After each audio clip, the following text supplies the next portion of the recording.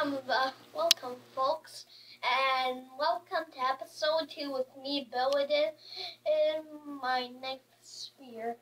I already made the, uh, as you see, I already made that tip that you need to.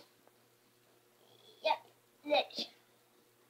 And before I made this, it started out as a giant curly piece of uh, a giant curly stick with with with a whole slack load of bark on it, and I cut a piece off that stick and then shave, and then Dad helped me shave all of the all of the all of the bark off.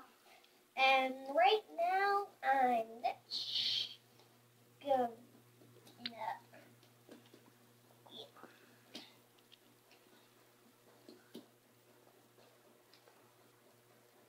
Looks like you've come pretty good with the chip of that. Uh-huh. And you've got that chip sharpened basically all on your own. Yeah. The only thing you did was help me make the panel. Yeah.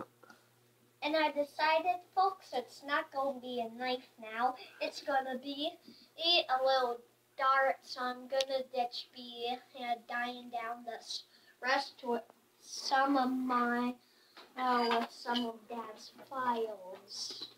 Here are all the files, and in episode one, you may have been able to see them, but because they're right by me.